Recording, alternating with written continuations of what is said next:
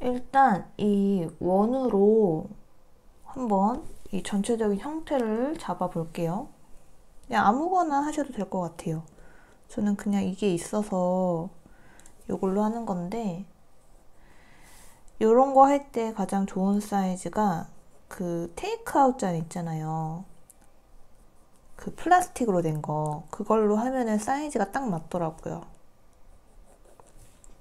그래서 이런 식으로 근데 이제 여기서 포인트는 이 원을 여기서부터 여기까지 이렇게 직, 직선으로 다 그리지 말고 지금 여기 이만큼 떨어져 있잖아요. 여기도 떨어져 있고 이렇게 어, 이렇게 원형을 이루고 있다. 이 정도로만 하면은 좋을 것 같아요. 그냥 이렇게 완전 여기서부터 여기까지 진한 동그라미를 그리지 말고 이렇게 끊어가면서 끊어지는 부분이 생겨도 상관없게 이렇게 작업을 해주시면 좋을 것 같아요. 저는 노랑 색깔로 해볼게요. 노랑 색깔 마카를 꺼내 보겠습니다. 음, 노랑색 그리고 갈 색깔도 좀 꺼내 볼게요. 색깔표를 좀 봐볼게요. 음, 색깔표를 보니까 어, 96번 색깔도 괜찮을 것 같거든요. 96번 그리고 32번, 34번 그 다음에 103번도 괜찮을 것 같아요.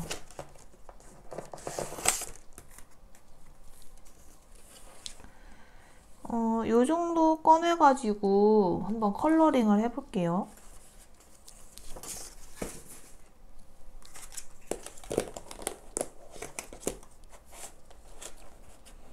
일단 노랑 색깔, 노랑 색깔이랑 갈 색깔, 색깔을 먼저 해볼게요. 35번? 35번부터 해볼게요.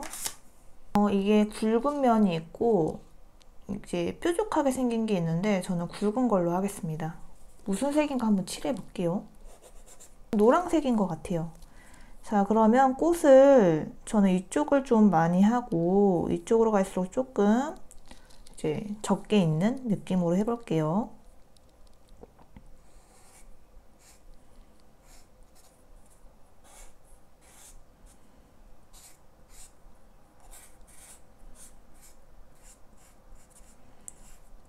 꽃 잎은 한 다섯 개 정도 해주면 좋을 것 같고 어, 계속 그려줄게요 그냥 이 꽃이 여러 개 이제 뭉쳐있는 리스를 그릴 거라서 그냥 이렇게 내가 그리고 싶은 위치에 점 다섯 개를 뭉쳐주면은 이렇게 꽃이 완성이 되거든요. 자, 계속 그려볼게요. 음. 이 아래쪽도 그려볼게요.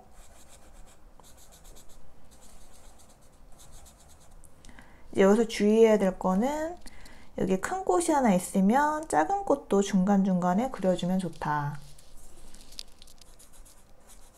크기를 다양하게 해주면 좋아요.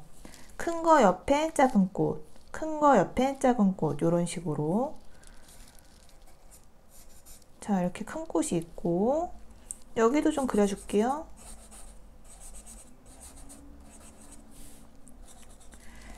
자, 이거보다 작은 꽃을 그려주면 좋겠죠?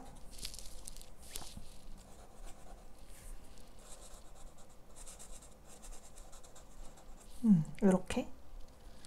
자, 여기도 지금 이걸 큰 꽃이라고 하면은 여기다 작은 꽃 그려볼게요.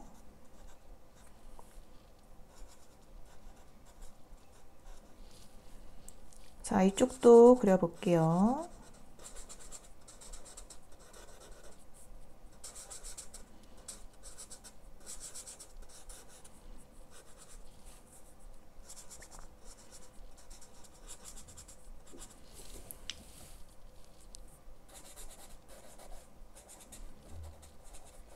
음, 요렇게.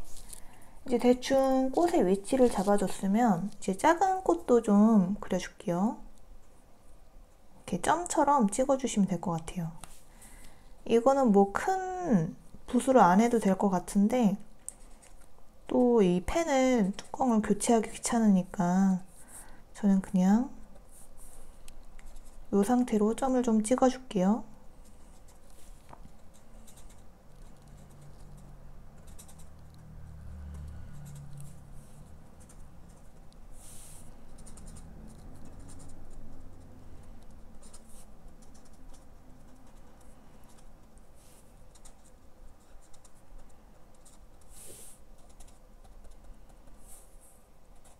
음, 이런 느낌으로 칠해주고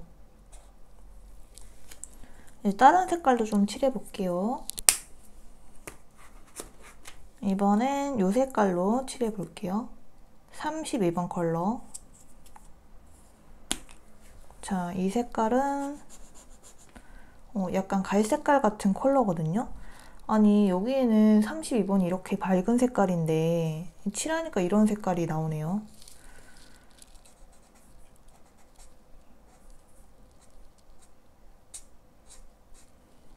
자, 이 꽃의 명암처럼 살짝 이렇게 터치를 해줄게요.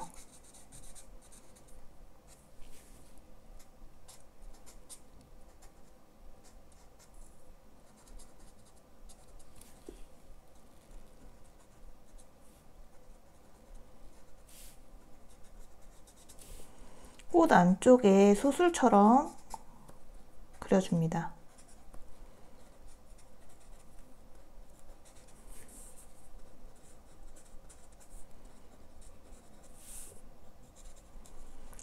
큰 꽃에만 살짝 넣어주면 좋을 것 같아요.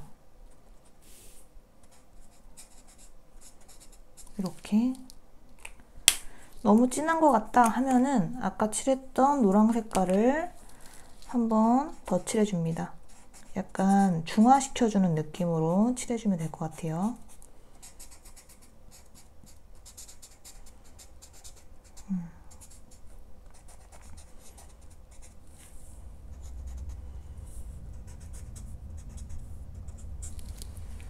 자 이렇게 해주고 그 다음에 노랑 색깔은 이제 이 정도 됐고 어, 초록 색깔을 좀 칠해보면 좋을 것 같아요. 초록 색깔을 저는 약간 올리브 색깔을 하고 싶거든요. 올리브 색깔이 딱히 마음에 드는 올리브 색깔이 없네요. 그러면 저는 음, 51번 색깔로 해볼게요. 51번 컬러 이거는 얇은 펜으로 하면 좋을 것 같아요.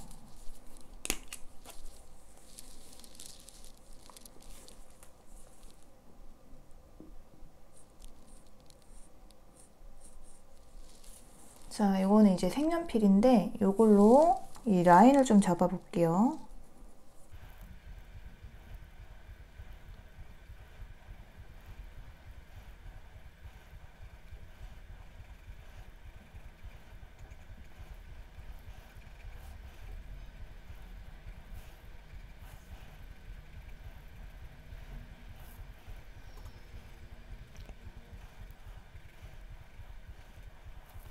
자, 이제 여기에 보면은 이 점점점 찍어줬던 거 여기에 이 나뭇가지를 그려주는 듯한 느낌으로 이 막대를 좀 그려볼게요.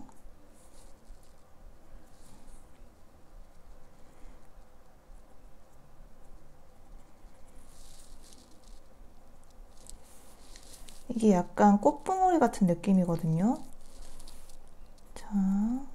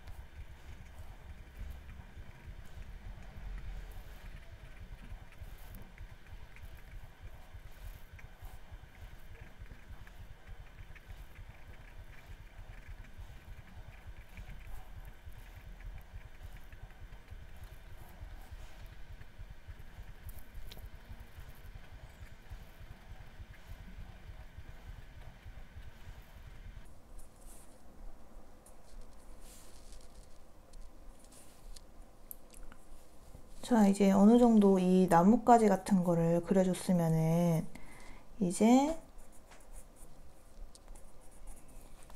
그 덩쿨 같은 느낌을 한번 그려볼게요.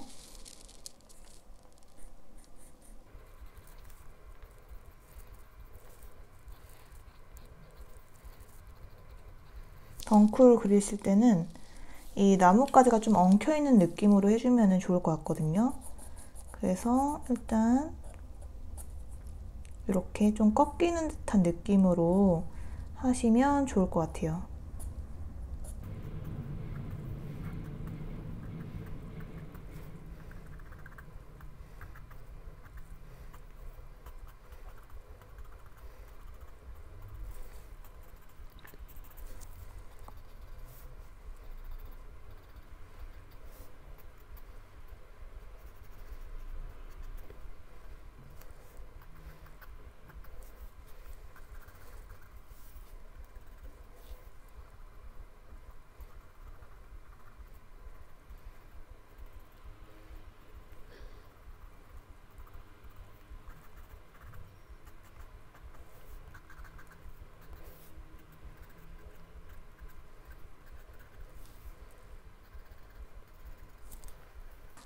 초록 색깔로 나뭇잎도 좀 그려볼게요.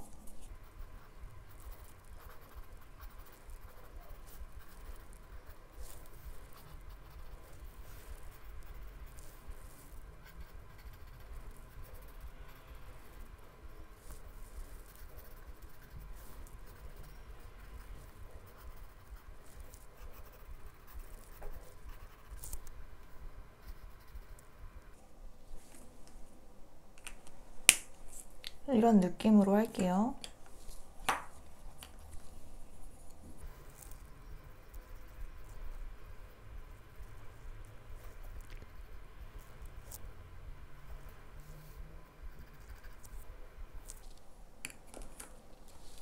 이렇게 하면은 되지 않을까요? 그리고 초록 색깔 색연필로